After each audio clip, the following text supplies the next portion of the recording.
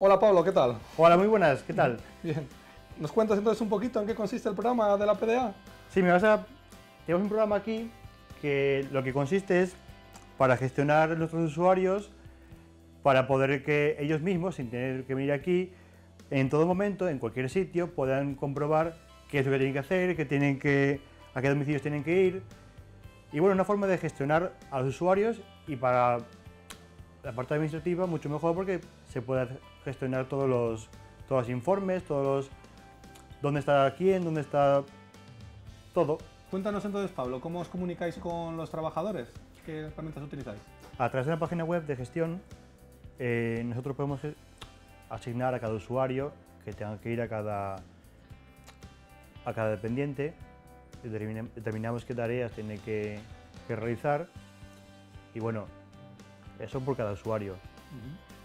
También gestionamos los números de teléfono, gestionamos las incidencias que puede tener, gestionamos también uh, los informes que, que, se puedan realizar por trabajos realizados en, tanto por usuario como por dependiente, como por localidad, como por, bueno, hay diferentes o sea que, rangos. Eh, el programa entonces, además de enviar pues lo que son las órdenes de trabajo semanales a cada PDA de cada trabajador, sí. entiendo, también te permite... El trabajador va a recibir lo que, se, lo que vendría siendo su planning mensual o semanal, ya como se decida, pues sin falta de tener que venir aquí a la oficina y tener el papel, pues él en su casa, en su cama o en el sofá puede decir, a ver qué tengo que hacer.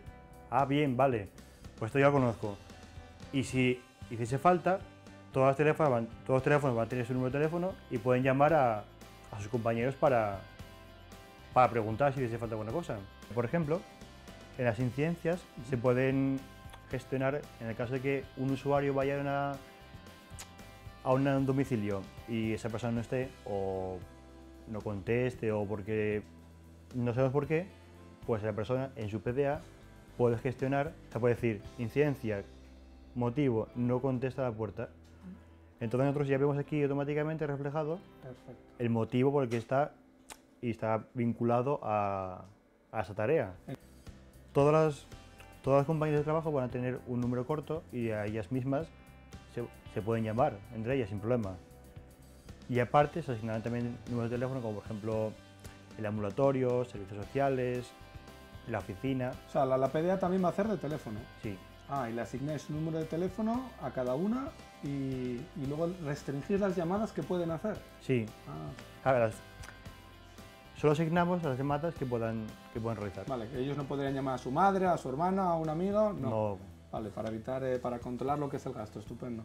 A ver, básicamente cada trabajador tiene su usuario y contraseña con el que, a ver, solo puede entrar a sus tareas. En realidad el programa es muy sencillo, son, cu- son cuatro botones en los que solo tiene agenda, mis tareas, gestión de incidencias y registro de incidencias. La agenda le aparecerán todos los números de teléfono que tengan asignados las compañeras que nosotros gestionamos a través de la página web. En las tareas, tú mismo puedes gestionar eh, en qué rango de fechas quieres, ver las tareas que tienes asignadas.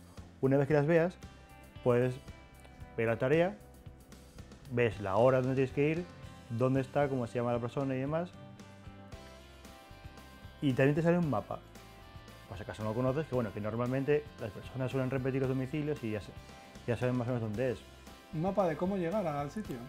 No, bueno, es un mapa de la posición donde está. Estupendo, muy bien, muy útil. Y luego también, una vez ves la tarea, cuando le das a entrar a la tarea, es cuando te comprueba el control presencial. Aquí ya queda registrado como que el usuario ya está en el domicilio. Y ahí aparecen todas las, todas las tareas que le asignamos, a todas las, todo lo que tiene que realizar, le aparece.